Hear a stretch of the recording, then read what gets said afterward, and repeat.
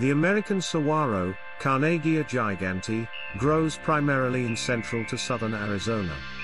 Although there is a small community in southeast California along the southern portion of the Colorado River, just before it empties into the Sea of Cortez of western Mexico. The Carnegiea gigantea, saguaro, and Pachycereus pringlei, cardon, are very similar cacti with extremely dissimilar growth rates. The saguaro can grow over 50 feet, or 15 meters, tall with many branching arms, but it may take up to 75 years for it to develop its arms, and some specimens may live to twice that age. The champion saguaro in Arizona is the largest known saguaro and is over 40 feet, or 12 meters, tall with a 10 feet, or 3 meters, trunk. Their growth rate is directly dependent on the amount of water they receive, but they are considered extremely slow growing regardless of regular irrigation or not. While the saguaro is native to the Sonoran Desert in Arizona, the Pachycereus pringlei, or cardon, is native to the Mexican states of Baja. It is the tallest cactus species known, with a record height of 63 feet, or 19 meters, tall.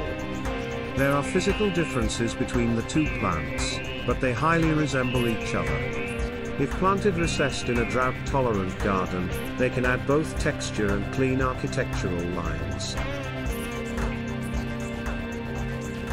Argentine saguaro, Trichocereus terscheckii, is from South America, has light ivory-colored flowers, and produces huge white trumpet-shaped flowers. The spine color tends to be a golden yellow and spine length can be highly variable, ranging from 1 to 2 centimeters up to 1 decimeter. It can grow just as tall as the Arizona saguaro, but it begins branching much sooner and closer to the base of the main stem.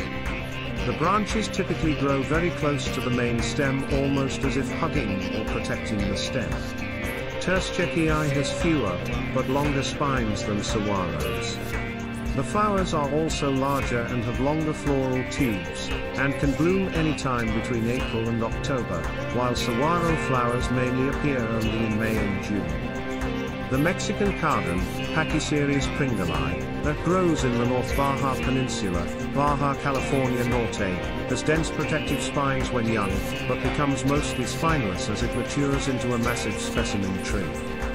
Cardon arms grow lower down than those of a saguaro cactus and they do not have as many spines. Also, if you look carefully, their folds are deeper and wider than those of the saguaro. The color of the cardon cactus is also a grayer color of green than the saguaro. When small the American saguaro and the Mexican cardon look very similar, each covered by dense thickets of spines. Look closely and you'll see the cardon typically has more spines than the saguaro. Depending on where they came from, the bodies of both could be fat or skinny. However, cardon tends to be very narrow at the bottom. Growing to maturity, all three species of columnar cacti no longer waste resources producing spines. Cardon is probably the most pronounced at giving up its spines once the column's robustness no longer needs protection from herbivores. A spineless cardon exposes its very beautifully azure blue epidermis color tone. In terms of growth rates Terscheckii probably grows the fastest in just about any climate. It will branch the earliest, is very cold hardy, and gives you the most bang for your buck in the shortest amount of time. It is therefore highly recommended for most cactus gardens. Cardon is the second fastest growing, but prefers a mild coastal climate that does not often see frost. If you grow it in a frosty climate you can wrap it in an insulation material to prevent damage during frosty periods.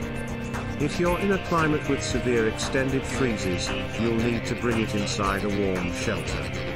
The Arizona saguaro is more hardy than cardon, but not as rugged as Trichocereus terscheckii. Saguaro is the slowest growing of the three columnar cactus species.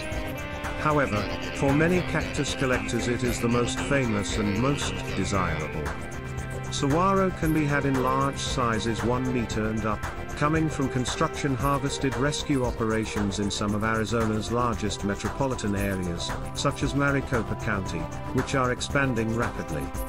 To move a large old growth saguaro can be quite an investment, ranging in the thousands of dollars to dig, transport, then replant the tree in your landscape.